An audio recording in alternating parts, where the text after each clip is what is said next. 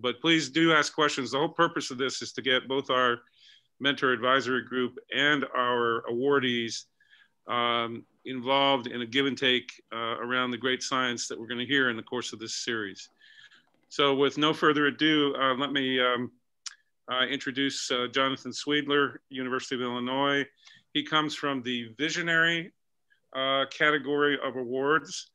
Uh, and his presentation title, as you see, is creating new measurement tools and using them to understand the chemistry of the islet. Jonathan, take it away, please. Thank you very much. Uh, it's a lot of fun to be here. Uh, thank you all for uh, tuning in. Um, I have an acknowledgement slide at the end, but I do want to uh, take this opportunity to really thank um, ADA uh, and the Visionary Award. Uh, it's really changed my research group in some of the directions, and I think this will last for a, a long time into the future. So I thought I would start with one introductory slide and then move into science. And so Visionary Award means um, established. Um, I've been at the University of Illinois for 29 years, um, I guess you can say uh, uh, that's uh, senior. Um, and so I'm, my primary appointment is in chemistry, but I'm also in neuroscience, physiology, and a couple other uh, programs uh, on campus. Um, my research group really does two things. One is develops new measurement tools to understand cell-to-cell -cell signaling. And for most of my research life, I've been using that in the brain. Uh, and um, to be a little bit different, we've been doing that from brains all the way from corals with simple nervous systems to humans. Uh, and so this represents a, a change uh, looking at uh, uh, cell-to-cell signaling in diabetes, but using many of the same tools. Um, and I like that quote basically, uh, and it's something that's certainly been true in brain science and in um, diabetes research. sometimes new tools, whether it's transcriptomics, new microscopy approaches or others, really allow us uh, a new vision into um, what's happening in complex uh, systems. And that's certainly true of the islet.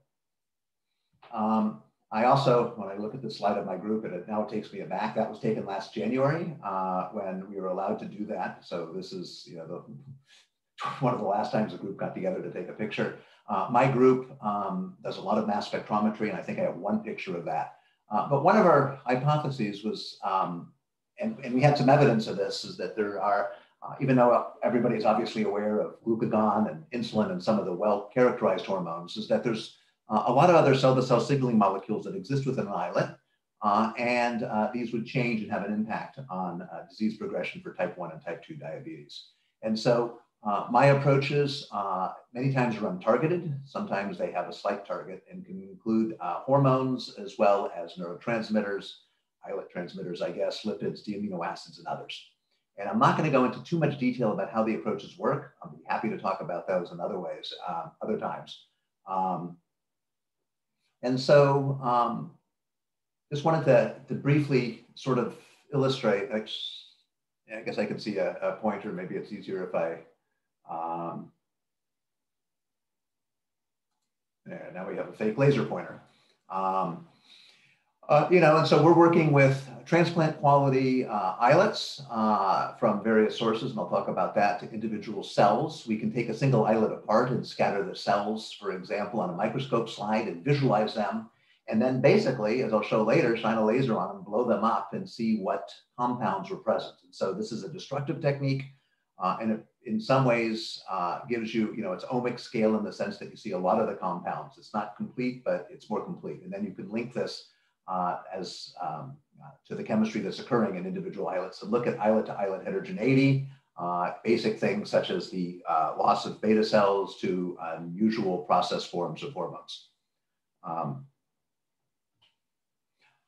just as a reminder, we're using mass spectrometry. So rather than transcriptomics or microscopes, uh, some of these uh, uh, are shown here. My group has eight mass spectrometers. We use a few others on campus one of the reasons I will say that you, you have to know something about uh, the different mass spectrometers is that none of these work as well as transcriptomics. And what I mean by that uh, is that uh, if an islet has, you know, 10,000 different chemical entities, or if a cell has 10,000 different proteins, 10,000 different metabolites, an equivalent number of lipids, and um, each mass spectrometer maybe can measure a thousand or so, so it's not complete. So depending on what type of molecules you're looking at, or you have to ionize or treat the samples differently. And so that's this alphabet soup of instruments.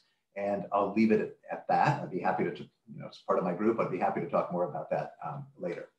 So this is a complex slide, and then all the other slides I think are a little bit simpler, but it sort of illustrates uh, another aspect of this is we get samples, uh, for the, you know, the best biobank samples are uh, either frozen or they're fixed with, for example, uh, paraformaldehyde.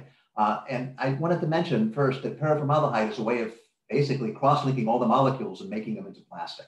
So if you think of a bowling ball, it you know, presumably is a single molecule. So you can't, once you've done that, you can visualize cells, but you really can't say, well, that was insulin or glucagon or things like the amino acids. Most of the molecules have been cross-linked.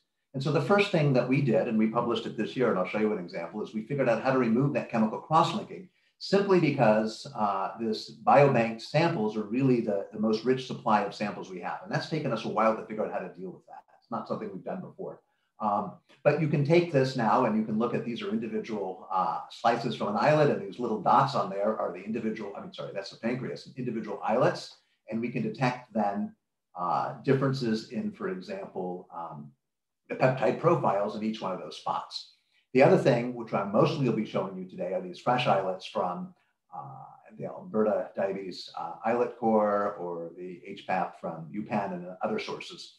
I will say, and I'm not going to go into this too much, is that the last six months has been a little, or actually most of uh, last year has been a little bit hard because some of our supply of, of, of islets from these sources has been uh, curtailed because of uh, COVID. And so that slowed down a little bit of the research. But from these fresh islets, we can actually, uh, and living when we uh, they arrive, we're actually able to look at uh, prohormone processing. We're able to look at islet heterogeneity and um, other aspects. And then lastly, we just had a uh, proposal uh, funded from JDRF where we're getting type 1 diabetes samples, uh, both islets and plasma and a few other samples, and we're actually looking at some of the molecules. Each one of these has different strengths and weaknesses. For example, some of the molecules are not stable and others can be measured. so that's why we use a large number of sample types.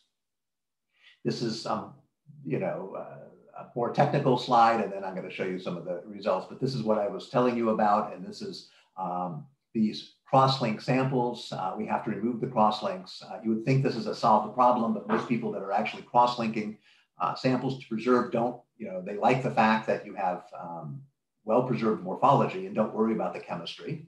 Uh, and so it took us a while, uh, and we now have the ability to remove the cross-linking and see the peptide hormones. Uh, this is just showing you a picture of a, an islet after it's fixed. This is after we removed the cross-linking, and this is just showing you a mass spectra with some of the hormones. Uh, we can see others uh, measured, and this is now uh, showing you our imaging of this, where you can actually see individual dots, which are islets, and you can see colors related to the masses of glucagon or amylin or insulin or others, and they do overlap. Uh, and you actually can see different intensities and different islets representing different amounts of peptides. Uh, this is for a sample that was stored for five years. And so um, this is uh, really um, going to enable a lot of uh, research with these biobank samples. Uh, this was just published, but it's been online for a few months. We've already got a lot of interest uh, for people outside of the field of uh, diabetes research, just trying to replicate this for their samples. And so again, I would have thought this was a solved problem, but now we have the ability to remove the cross-linking and do mass spectrometry on these, uh, I'd say long-term stored samples, but at least you know five or six years, uh, probably a lot longer. But this is the approach we use for single cells. It's something we developed in our lab. It's a very simple approach. I showed this a couple years ago, but it's worth uh, reminding uh, people. You can take, this is showing you a, a, different sample, but you can take a cell out from an islet or others uh, and put it on a microscope slide, for example. And then when you shine a, uh, you, you put a matrix around it and you shine a laser, you blow up the cell. Some of the molecules, the hormones, the lipids come out and you get a mass spectra where every peak shown here represents a different chemical entity. And if, uh, so this would allow you to see the hormones and the lipids and others. And just shown here is a bunch of individual dots. These are individual cells, uh, in this case from a rat uh, uh, cerebellum, and we can actually then measure the lipids in this particular case. Um, we can do this uh, for islets also, um, and um, actually just because uh, of time, I'm not going to go into this. The, the, approach gets a little bit more complicated about how you find the cells, how you localize them to make sure the cells are independent. And, and we have software uh, that we've made available to others, and it's all available on the web to do this. And this allows us to do uh, now uh, tens of thousands of cells uh, at a time on a single microscope slide. And when you do this, let's see if this uh, works. This is actually what happens when you take uh, a rodent islet and you scatter, uh, uh in this particular case, uh, cells from uh, multiple islets onto a, a, microscope slide. Even using unsupervised statistical approaches, you can divide the cells into um, categories that represent the cells. And so unsupervised learning, and you still learn, it separates it into alpha, beta, gamma, delta, and other cells because of their peptide hormones. And you can even then start looking at the number of each type of cells uh, within individual islets or other places. Now, this would work also, you know, this uh, is completely independent of the animal. It would work with any islet. And uh, we have done this in others. I just happen to have a nice uh, image here from uh, a rat islet. Uh, and we actually can start seeing unusual cells that have unusual processing. Now, I put this slide up for two reasons. One, to show that, and two, because of this crazy biochemical method of showing a, a prohormone that's processed. And I apologize if you don't like uh, this, but this is just showing you a, a prohormone with the single letter abbreviations, methionine, alanine, valine, alanine. So that's MAVA continuing. And these bars represent the amino acids, and this is pancreatic hormone. It has a characteristic mass. Uh, and what we're seeing is individual dots, or the, you know, one of the only groups that show that represent individual cells, and each cell uh, then uh, you can see the intensity. And what we're seeing is different cells within one islet actually have different processing enzymes and make different forms of pancreatic hormone. And so um, this allows us to start looking at heterogeneity. Interestingly, with our approach, we don't use up most of the sample. And so we can now take that cell after we've done mass spectrometry on it and do transcriptomics, which I won't show today. That's a new approach that we've done. But we can actually then do capillary electrophoresis mass spectrometry and look at neurotransmitters, for example. And here's an example of lipids. This is an alpha cell because it has glucagon. These are some of the small amino acids uh, molecules that are present. And uh, this is just showing you the presence of dopamine, uh, which is in individual cells. And so we have this ability to do multiple approaches on a single cell. So here are some human islets. Uh, these are individual cells from an islet. Uh, and uh, when we you know, now the question is how you show the data. This is just showing you four islets from one uh, donor, and each dot represents a cell. Uh, and uh, islet four here, for example, has a lot of somatostatin cells. Islet one had a lot of glucagon cells, and, and you can see the different uh, peptides, and you can start looking at this heterogeneity.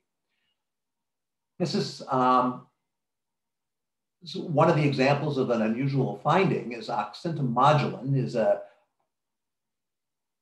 peptide hormone that is from glucagon, but it's actually processed or is only supposed to be processed in the gut and not in an islet. So um, it's been shown to be uh, a marker uh, of type 2 diabetes, or at least uh, within the gut. Uh, but as I say, it's not supposed to be within an islet. When I showed this at a, one of the scientific sessions, somebody said, well, a lot of the people who are donors uh, obviously have met a violent uh, death. And so this could actually just be uh, some cells from the gut that are in the wrong place. And so to verify that, um, we took islets from individual well-washed islets. Uh, instead of doing single cells, we did liquid chromatography mass spectrometry and measured all the hormones. And now since there's lots of cells, we get a we can use a different approach. And what we use is an approach that allows our assignments to be hyper confident. So this was ion mobility, tandem mass spectrometry. And in these islets from, uh, in this particular case, uh, individual islets, uh, but from uh, five different donors, we're able to see uh, quite a few peptides.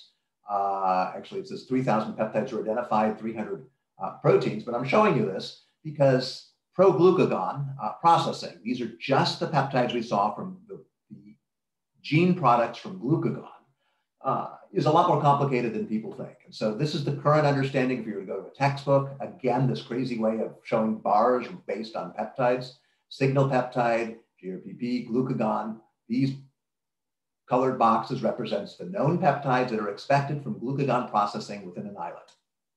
Uh, again, the length of the bar happens to do with the amino acids that are present. Uh, this on the right is the process that we actually see in individual islets. And so, yes, we see glucagon, we see, uh, but we also see within islets, uh, oxyntomodulin, uh, we see some uh, modified forms. Uh, and as one example, something that was quite surprising, uh, we see a different signal peptide cleavage site. So glucagon, glucagon normally is cleaved at this particular site, but we do see in over 50% of the individuals that we looked at, we see a modified form that's three amino acids longer. Uh, that's not true of any other islet prohormone we've seen, but it has been shown. Uh, we've actually, we and others have observed that in a few other prohormones, and in general, that is, uh, uh it changes the peptide forms and also changes, um, it has an impact uh, on these peptides' lifetime because, for example, what determines how long a peptide lasts after release uh, sometimes is caused by uh, aminopeptidases. And so having extra amino acids here can change lifetime and receptor binding. And so uh, this is showing that even in a very well-characterized prohormone, uh, glucagon processing, you have a lot of extra uh, peptide, pro you know, peptide products. Um, and we're still trying to understand um, when these occur and uh, if they're correlated uh, with type 2 diabetes. Uh, we have, we've just received some additional samples and we're looking to see how this correlates. Um, with this, these samples, there's a lot of other uh, peptides, as you know, actually several hundred uh, hormone peptide hormones that we forms that we see. I just wanted to show you, uh, you know, this is also uh, perhaps a surprise. This is looking at insulin. Obviously, most of you know it's an A and a B chain disulfide bonded together. And uh, again, this is now showing the single amino acid code. These blue bars are the peptides that we had uh, these hyperconfident identifications on. And I underlined a section right here uh, we also see uh, a section where this, these amino acids are missing. And you can see this. This is a known uh, transcript uh, where uh, it's missing this particular section, uh, but no one has actually reported its presence. And we can see then those are found in some individuals where we see some of the insulin is in the shorter form, missing these amino acids. and so again, a lot of heterogeneity. Uh, this is a different peptide, again, a different structure, shape, and potentially a different receptor binding. We haven't uh, done any of those experiments yet, and nor have we correlated this particular one to um, uh, the differences between the different uh, samples that we have. And then lastly, I'll give you one other example of this, just, just illustrating a few amyloid polypeptide is detected in individual islets. There is another prohormone. Uh, it's a silly name, ProSACE or ProSAAS, and it's called that just because I think somewhere here it is. There's serine, alanine, alanine, serine. So the person who first discovered this in the brain uh, called it ProSAAS and called these the SAAS peptides because of this serine, alanine, alanine, serine, serine motif.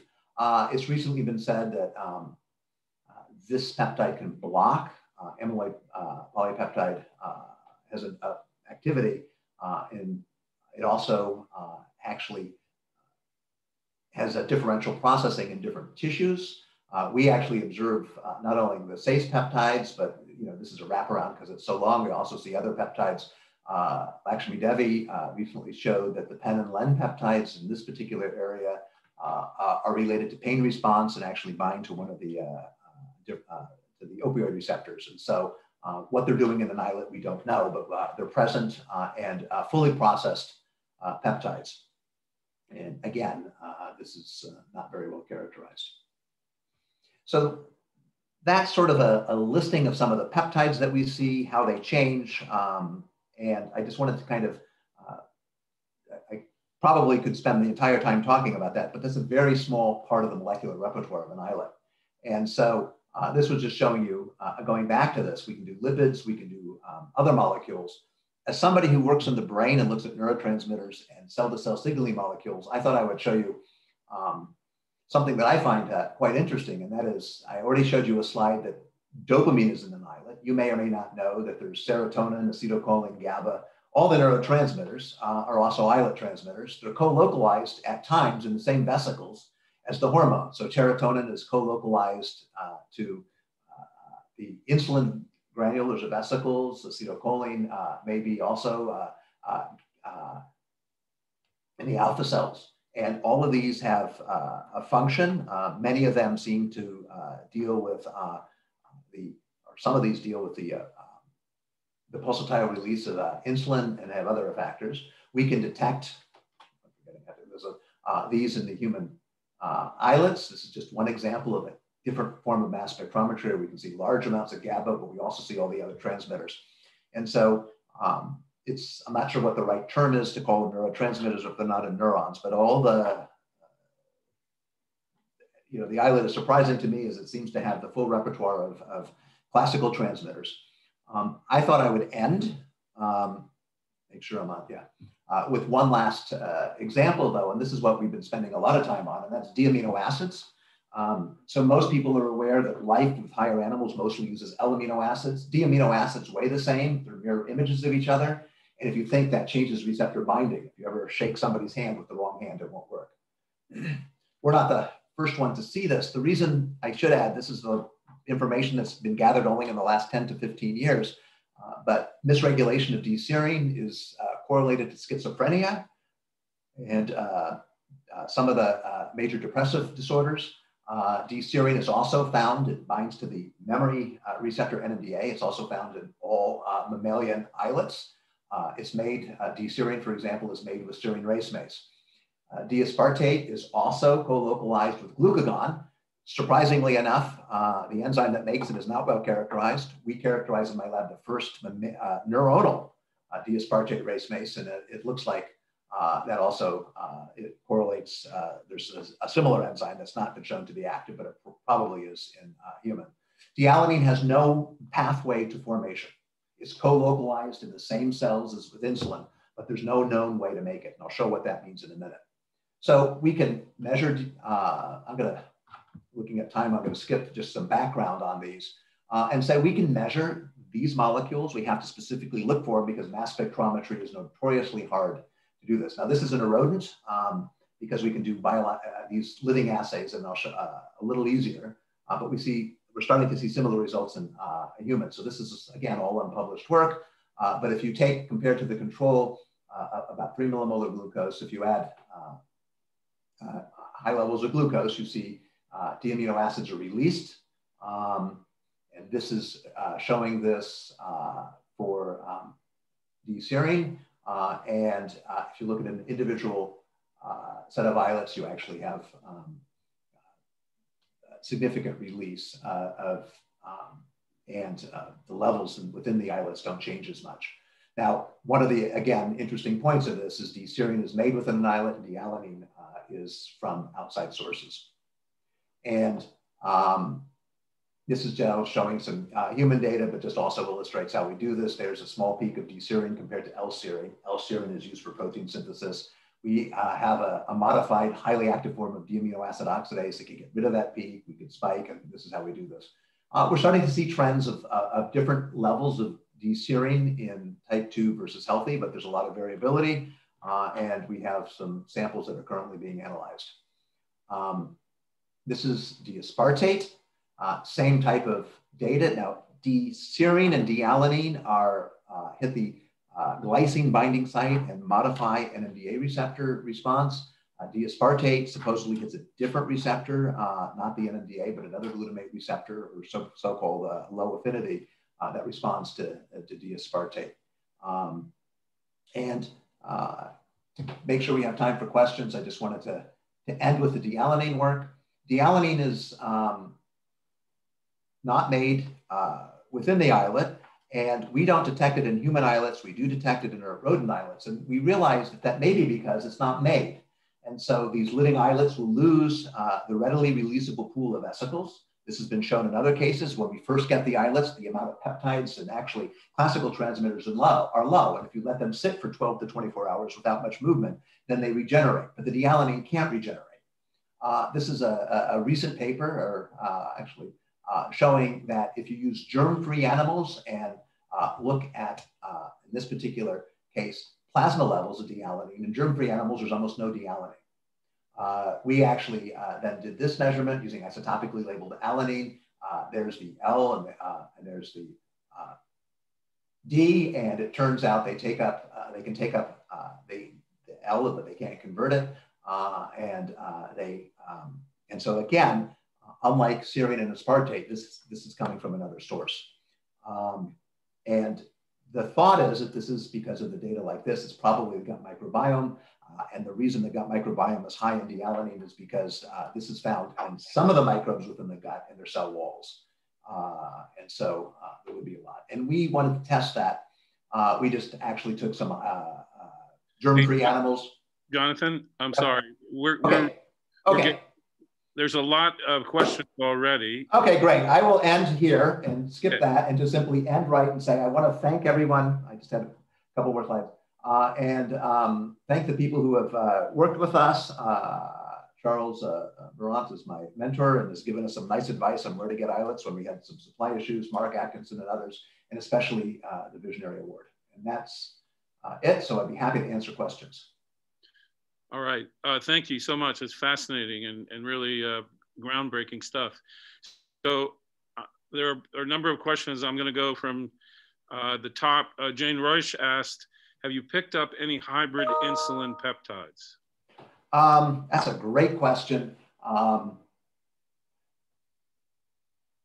we, we have the data to look for those, and we haven't done a complete job of, of de novo sequencing looking for them. And so they weren't in our database. We are mostly looking for known uh, insulin-related peptides. And so that is on our list of things to do. We have actually quite a few terabytes of data to go through, and we should look at that, uh, those that are known and reported and see if we see any. We are seeing, as I say, unusual ones, but they seem to be, uh, as I say, some of these uh, unusual transcripts. I'm gonna I'm gonna actually glom together my question and Gokhan's question.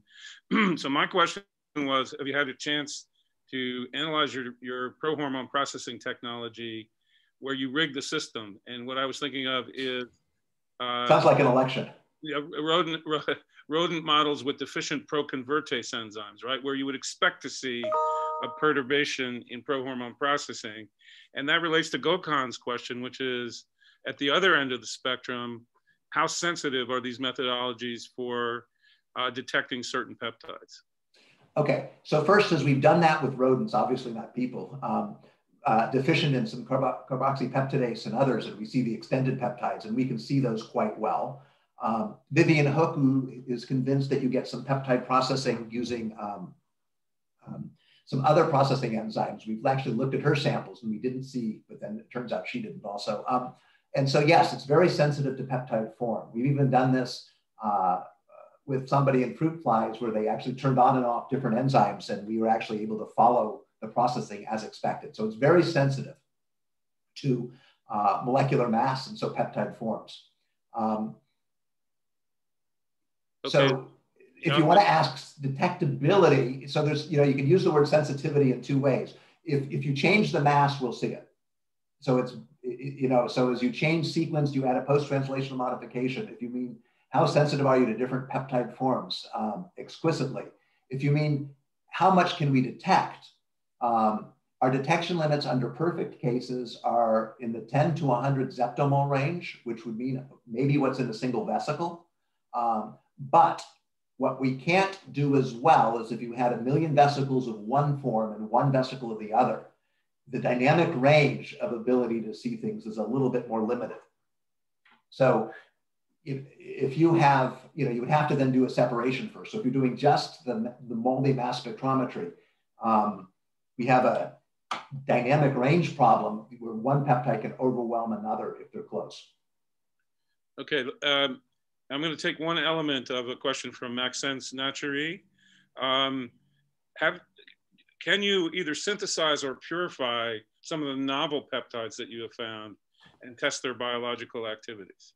Well, first, you can synthesize anything. I'm in a chemistry department, but peptides are really, we make a lot of the peptides ourselves. Right. So we can synthesize them very easily. Peptides are trivial to synthesize mostly. Um, the modifications that we're seeing are pretty straightforward. There's none of them are glycosylated. So we can synthesize these uh, and test their bioactivity.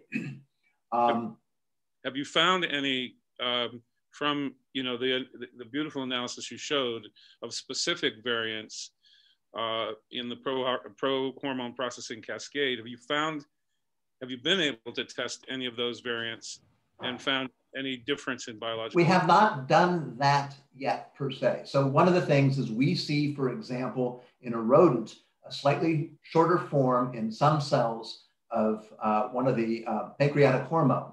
And interestingly enough, somebody uh, about eight years ago, I can't remember the group, proposed that that might be made because it's monobasic sites surround it. And they tested it and said, oh, this hits the neuropeptide Y4 receptor. And uh, they showed nice receptor binding. And then they went and did LC mass spec and didn't detect it. And said, I guess it's not present. So they already showed bioactivity, but they couldn't detect it. We see it in one in a hundred cells of, of, of, the gamma cells. And so in some ways, that one is cheating because we didn't do the bioactivity. It was known to be active. We just happened to see that it's in unusual cells. Um, in the case of oxyntomodulin, um, the, bioactivity in some ways is already known. It even has been known uh, how it in, uh, interacts with the, um, the islets. It was just presumed to only be made in the gut, uh, in the enteroendocrine cells of the gut, and not in the alpha cells. And so in some cases, because this is a well-characterized system, uh, some of these have already been tested and shown to be bioactive. The problem is they weren't known to be made in an islet. Well, to, and related to that point, the last question, simple one for Martin Myers. Did you detect GLP-1, fully processed GLP-1 in your islet experiments? Um, you know, it's, it's yes. thought more, it's thought more as a, a product of the pro glucagon gene made in the gut, but did you yes, detect it? We detect it. Yes, yeah. the only thing I showed that I'm a little bit hesitant to say, so we see GLP-1. You will see that a few of the prohormone products were also shown to be acetylated, and we're trying to determine if that is an artifact of the way we extracted the peptides.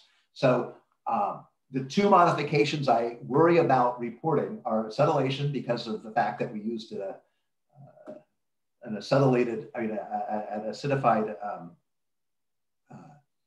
extraction solution, and then oxidation, because I don't know where it was oxidized. That could have been, but we did see fully processed GLP. One. All right, with that, Jonathan, thanks a million. That was really stimulating. And uh, we're going to need to move on now to our second talk today, uh, which will be given by Paul Cohen from the Rockefeller University. And the title is Brown Fat and Cardiometabolic Health. Uh, Paul, jump in.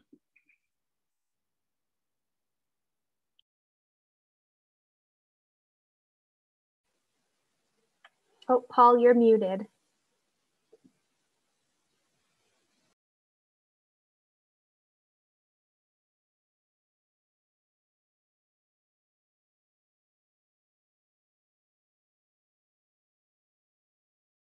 Sorry about that. I had a small technical issue. I'm going to um, share my screen again.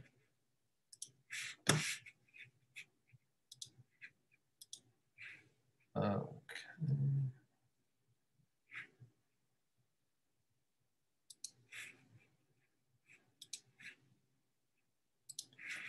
Okay, we should be good to go now. Thank you uh, again for giving me a chance to share our work.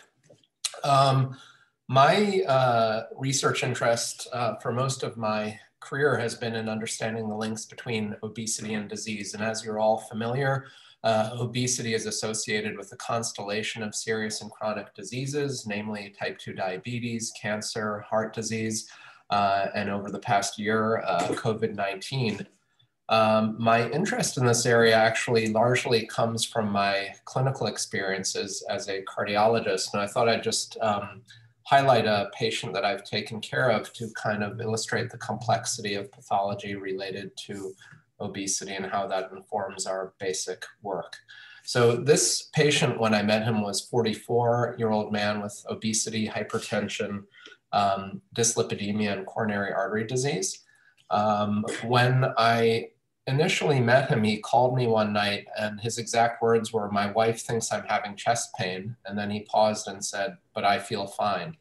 Um, he, of course, was not fine. And a few hours later, he showed up in the emergency room with a heart attack, ended up uh, requiring urgent coronary artery bypass graft surgery.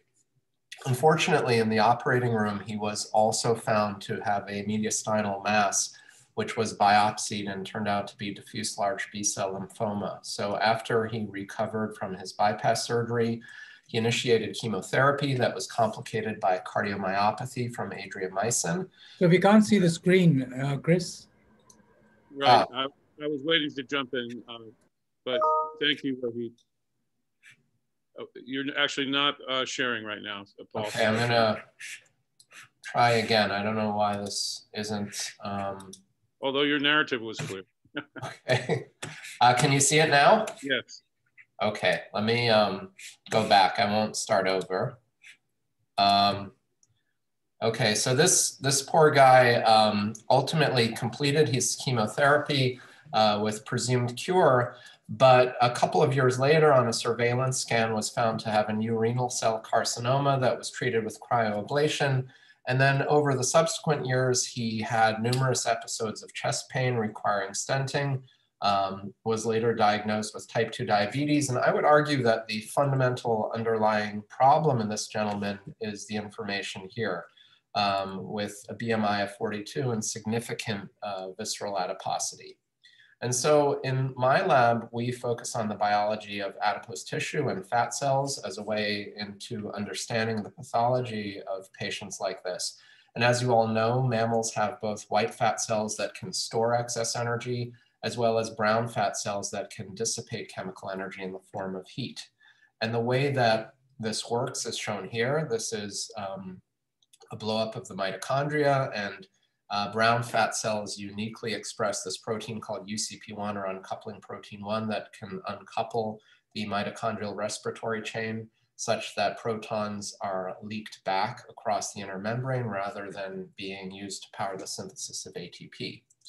And of course, this process not only consumes energy, but it also catabolizes metabolites like glucose, free fatty acids, and branched chain amino acids, all of which have been linked to insulin resistance and type 2 diabetes. So uh, we probably evolved brown fat to protect against hypothermia. And you can see here in this thermal imaging, this is a newborn mouse that has ventured from its cage mates. And you can see this really strong heat emitting signal uh, in an interscapular region. And this is developmentally preformed brown fat.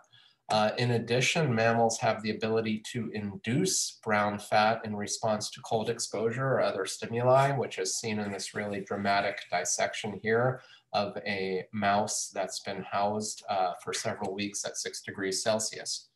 And so these observations and others led people to appreciate that in addition to preformed brown fat, mammals also contain inducible brown fat cells that we now most commonly refer to as beige adipocytes, these cells have many of the same properties as brown fat cells with the key property being that their activity is highly inducible. And so in prior work uh, that I started as a postdoctoral fellow, we identified this protein PRDM16 as a key transcriptional regulator of thermogenic fat. And we saw in mouse models that if you delete PRDM16, you ablate the function of thermogenic beige fat. And with that, you get insulin resistance and many features of the metabolic syndrome. And conversely, if you overexpress PRDM16, you show protection from these conditions. And so this led us to wonder whether perhaps fat could be targeted for therapeutic benefit. And so in my independent lab, we've been approaching that at three levels, at a cellular level, um, a tissue level, and at an organismal level. And in fact, the organismal level was the subject of my pathway proposal with the idea being to really understand the full uh, nature of the endocrine properties of thermogenic fat. Um, evidence is emerging that the benefits of thermogenic fat are above and beyond energy expenditure and may be conveyed at least in part through endocrine signals. Um, as we thought about this and progressed along these three lines, however, began to think more, and conventional notions suggest that this might work in mice, but perhaps not in humans. And the reason for that is because the predominant uh, depot of thermogenic fat is uh, this developmentally preformed brown fat. And we know there's a lot of it in newborn animals because they're small and hairless, and newborn humans also have this. Um, but for a long time, the view was that thermogenic fat was not relevant in adult humans. However, that notion first began to change with a series of papers in the early 2000s that didn't get much attention because they were in the radiology literature, but using FDG PET scans, which are commonly used to diagnose uh, or track the progression of cancer because they measure the uptake of radiolabeled glucose, radiologists reported that they often saw bilateral uh, uptake in these tissues in a symmetrical manner along the neck. And of course, this symmetrical uptake argued strongly against this being a malignancy. And on CT scan, they saw that this, these tissues had the imaging characteristics of fat. And so initially they referred to this as USA fat or upper supraclavicular area fat. But a series of papers in 2009 really um, ushered in a new era of research in this field because they showed that adult humans not only have this depositive tissue, but it can be induced in response to cold exposure, as you can see in this PET scan, and it also seems to be functional. And what these studies and a number of subsequent studies showed is, uh, first of all, uh, that thermogenic fat in adults can be cold inducible, uh, in addition, um, the amount of thermogenic fat goes down with age. It goes down in obesity, and women tend to have more thermogenic fat than men. They also were able to show that the amount of thermogenic fat was inversely related to blood glucose levels, meaning people with more thermogenic fat had lower blood glucose. So all of these findings suggest that this might be an attractive target uh, for type 2 diabetes and related conditions in adult humans. Um, as great as this work was, um, one of the uh, limitations uh, to studies is because they rely on PET scans, most existing studies have either been retrospective studies of a few hundred individuals or small prospective studies of tens or so of healthy subjects who have been stimulated with cold exposure to try and maximize their thermogenic fat. And so as we um, approach this, this led us to kind of add to our list of questions in my lab to think, well, if we're gonna really study uh, from a bottom-up level thermogenic fat in animal models, it would be really important to have a more comprehensive understanding of what role it plays in humans. And so I'll share with you today some work that was um, fortuitously just came out online a couple of days ago. Um, so I'd like to share that with you today. And so this is the work of Tobias Becher, a former MD uh, fellow who was in my lab who had training in medicine and cardiology. And he and I realized that if we were to really understand uh, at a comprehensive level what role brown fat plays in human health and disease, we needed a really large data set so that we could have enough statistical power to look for associations between brown fat and uh, a whole constellation of diseases. And so fortunately, we're across the road from Sloan Kettering, which is a large cancer center, and they perform about 20,000 PET scans each year uh, to diagnose or track the progression of cancer. And as I showed you earlier, because brown fat could be misconstrued as representing cancer because it's FDG avid, they always report um, when they read out these scans whether or not brown fat is detected. And so with that, we did a retrospective review of nearly 10 years worth of PET scans. So this was nearly 140,000 scans. And we categorized people based on their brown fat status into either brown fat positive or brown fat negative. And then we link their brown fat status to all of the data in their electronic health record. And so I'll first just show you some descriptive data. We were happy to see initially that our descriptive data uh, was entirely in agreement with prior publications. So what you can see on top is that out of all of the scans of more than 50,000 patients, about 10% of patients had brown fat. I'll point out that these were clinical scans, so they were not only not done with stimulation, but people were actually asked to uh, refrain from cold and exercise and other things that might stimulate brown fat. So um, having said that, um, about 14% of uh, females and nearly 5% of males had brown fat. The prevalence of brown fat went down with increasing age. It also went down with increasing body mass index. And when we looked at the prevalence of brown fat as a function of outdoor temperature in the month of the scan, we saw an inverse relationship such that scans done in colder winter months were more likely to have brown fat detected. And so what we then did is we wanted to control for these known variables. And so we used a common technique called propensity score matching. This allows you to assemble a cohort analogous to a case control study where you can match individuals controlling for a number of variables. And so we took our entire cohort and matched individuals with and without brown fat matched for age, sex, BMI, and outdoor temperature at the time of the scan. And so with that, we had a roughly one to two matched cohort of nearly 5,000 people with brown fat and nearly 10,000 people without brown fat. And so I'll just show you some of the highlights from our study here. Uh, first of all, when we uh, used this propensity score matched cohort and linked this to all of the information in patients' charts, we saw a really dramatic reduction in a variety of chronic diseases. So on uh, the left here in panel A is the overall prevalence numbers, and on the right is a forest plot showing the odds ratios of these conditions. And those conditions in red show significantly lower odds in individuals with brown fat. So you can see um, that people with brown fat matched for BMI and these other variables have significantly lower odds of type 2 diabetes and dyslipidemia, and those uh, associations have been documented in the past. But we saw also associations that hadn't really been reported before, including for coronary artery disease, cerebrovascular disease, congestive heart failure, and hypertension. We also took this matched cohort and when we stratified people by BMI into three categories, either normal, overweight, and obese, we saw that the presence of brown fat protected against pathology at all three BMI strata. So if you look for diabetes, for example, individuals in blue are those without brown fat. And you can see as BMI increases, the prevalence of type 2 diabetes goes up, and that's what we all know to be the case.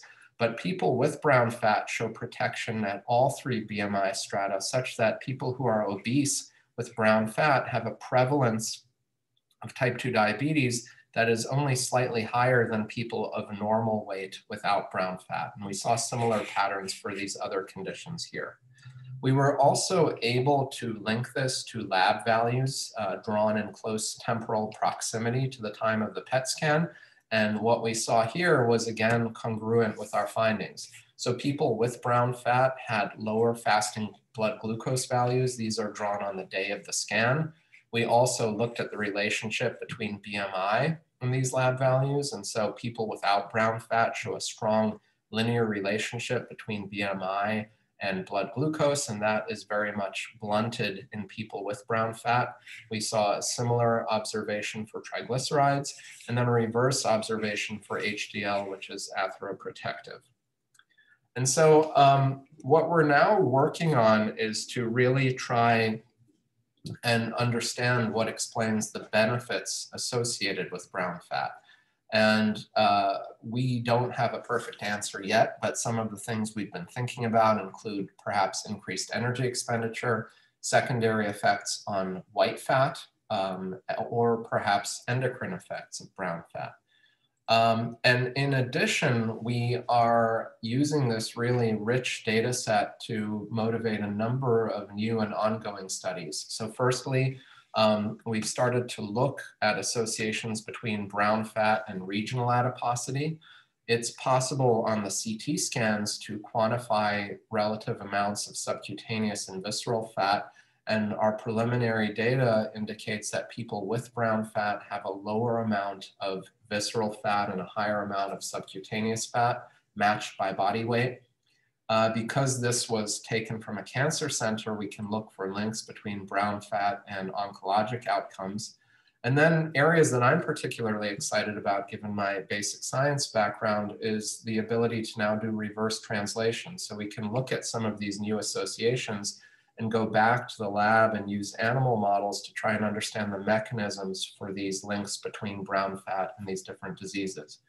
We're also digging a lot more deeply into the medication data from uh, these patients to see if we can identify medications associated with increased brown fat um, and to then test whether those associations may perhaps uh, demonstrate causation, which ultimately could allow us to think about repurposing common medications to increase or activate brown fat.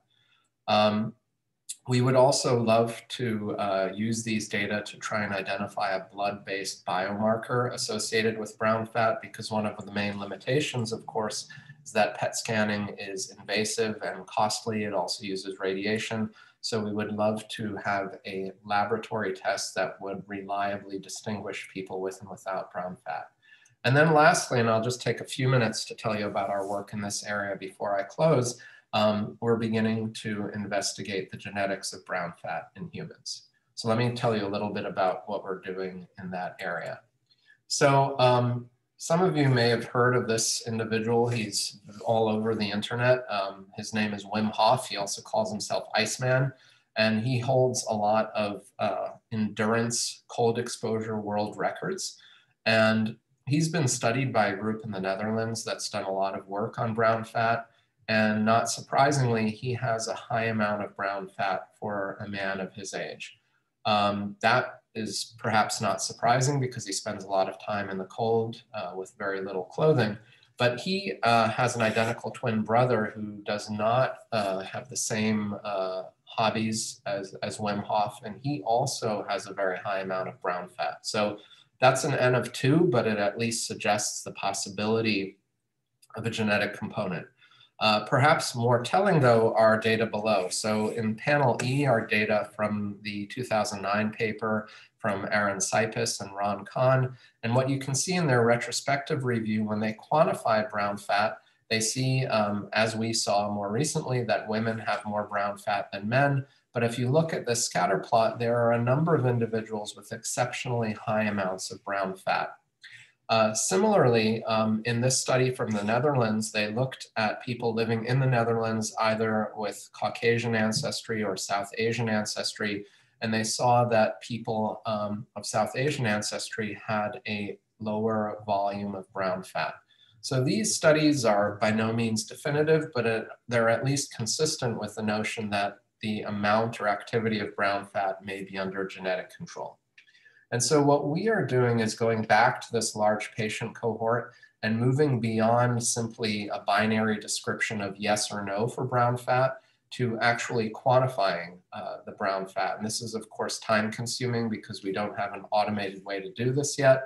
Um, but we've done this on a few thousand patients and in doing that we've defined uh, these um, ranges of normal activity based on age.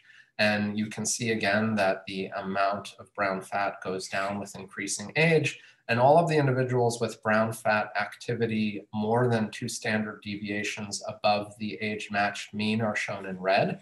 So again, these are outliers that at least have the potential to have genetic manipulations that contribute to their high amounts of brown fat. Fortunately, a very large number of patients who come to Sloan Kettering have their genome sequenced. And so we are now accessing the um, exome or whole genome sequencing data from these individuals to see if we can identify um, variants that might be associated with increased brown fat. In parallel, we're taking an orthogonal approach, uh, collaborating with Sadaf Farooqi in the UK and Tayfun Özçelik um, in Turkey to study um, individuals who are either uh, very lean or very obese uh, and looking at candidate genes, uh, and we've identified a number of genetic variants in genes linked to brown fat function that we're now studying further. And so the way I see this um, going forward is, of course, these variants are just the starting point, but if we can identify these variants, we can then study them in cell lines in a dish or in animal models and really begin to hopefully uh, bring new insights into genetic determinants of thermogenic fat function. So with that, I will close. I just want to thank uh, the people in my lab who did this work. Uh, this is a picture from a time, uh, like Jonathan said, when we could all get together and go out and hopefully we'll all get there safely again soon. I want to thank our collaborators and I also really want to thank the Pathway program for giving me uh, the support early in my career to try uh, different things. And this work wouldn't have been possible without that support. So thank you for your attention. Sorry for the AV glitches at the beginning, and I'm happy to take any questions. Thank you, Paul. That was, again, a really inspiring presentation. We'll skip Bergman's question about how the Iceman keeps his guitar in tune. And um, uh, we'll go on to uh, Tony Ferrante. Is it is it possible that the mechanism goes something like insulin resistance, less brown fat, and therefore the association with CAD HTN, et cetera, reflects the association with insulin resistance? Or were you able to control for insulin resistance in some way? Yeah, so that, that's a great question, and that um, was asked actually by one of the reviewers of our paper. Um, uh, so, um, of course, we don't have a perfect way to control for insulin resistance because this is a retrospective study, so we don't have insulin levels on these patients, and we couldn't um, clamp these patients. But we did do a number of multivariate analyses, including uh, one in which we controlled for type 2 diabetes. And we saw that these associations between hypertension, coronary artery disease, and congestive heart failure uh, were present even when we control for uh, type 2 diabetes. Okay, and uh, Samie Jaffrey asks, uh, what do you think is the molecular receptor for cold that induces the pathway for brown fat formation? Any thoughts about that? Yeah, so um, I think the conventional or textbook pathway is that cold is sensed by sensory neurons in the periphery. A, a, sensation is conveyed to the brain that then leads to efferent output via the sympathetic nervous system that releases catecholamines. The catecholamines bind receptors on brown and beige adipocytes and activate a signal transduction cascade resulting in increased thermogenesis. There is uh, data um, that these cells can also be activated in uh, ways independent of adrenergic stimulation. Um, and so there are probably a variety of other pathways, and I think that's an area of active research. Okay, and then um, Praveen Sethupathy asks, uh, are there different strains of mice that exhi exhibit different amounts of brown fat or variable adipose beiging in response to cold exposure? I think he's thinking of something like a collaborative cross resource that you might be able to mine to, you know, to find genes that uh, that predispose to brown fat formation. Yes, uh, great question, and we've done some work in that area too. And so um, Les Kozak, who discovered UCP1, actually was onto this many years before the collaborative cross was available. But um, in the early 1990s, he described cold-induced UCP1 induction um, in white fat depots, which we would now refer to as beige fat. And he saw that the level of induction was highly strain dependent. Interestingly, obesity prone strains like uh, C57 Black 6 have a much lower induction than obesity resistant strains like 129. Um, and he did some crosses and was, I think, in the process of trying to map this to a chromosome and a locus, but I, I, don't think it, it got there. I think nowadays, with some of the tools available to us, we could take a much broader and unbiased approach and really um, use the mouse model to try and dig deeper into this. But yes, there are absolutely strong uh, genetic uh, determinants in mice. There are also uh, sex and environmental determinants. Okay, and as the moderator, I take the prerogative of a shameless Homer question as the final question. Yeah. Uh, you, are aware that Shingo Kajimura has shown that brown fat in humans lowers branched chain amino acid levels because brown fat is apparently consuming BCAA.